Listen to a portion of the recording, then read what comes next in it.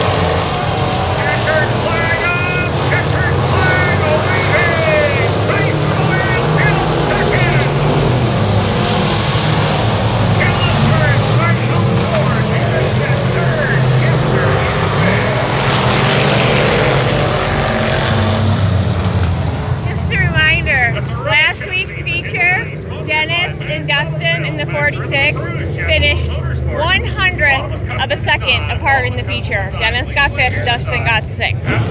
Again, tonight, like split second between the two of them.